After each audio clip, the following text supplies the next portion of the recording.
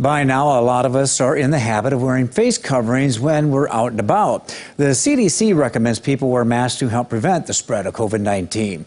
If you choose a cloth mask, there are some steps that you should be taking to keep it clean. In tonight's Health Beat, we hear from the Director of Inpatient Nursing and PPE Coordinator at Avera McKennan Hospital, who says that you should wash your mask every day. And that's not all. Ideally, it would be washed with your regular clothes in a, in a washing machine. Um, Eh, with a hot cycle, either in the water or in the dryer setting. And it's also important to know what the mask is made of and how it's made so it is washed properly. Hang drying is an option, but that means that you'll want to use a hot wash cycle.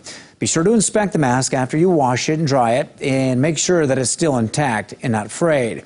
And when, when it comes to taking off your mask and putting it back on, Make sure your hands, you wash your hands before and avoid touching the front of your mask. And if you need to remove your mask for a short time, there are some storage options. If you have a clean um, pouch or bag that you're going to keep that mask in, um, you can put the mask in there.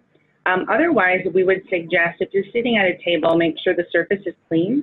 Take a clean disposable paper towel, uh, take that mask off, and set the front of the mask down on that clean paper towel. Also, avoid putting a mask that could be partially wet in a sealed bag. So I'm thinking about kids going back to school and moms, moms and dads washing their masks and then throwing them into to a bag to put into their backpacks. Um, you want to ensure that those masks are completely dry before you store them.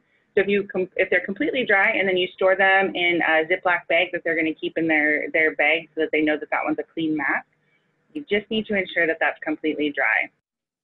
And Ayler says don't put a used mask in a sealed plastic bag for any long period of time other than the ride home. If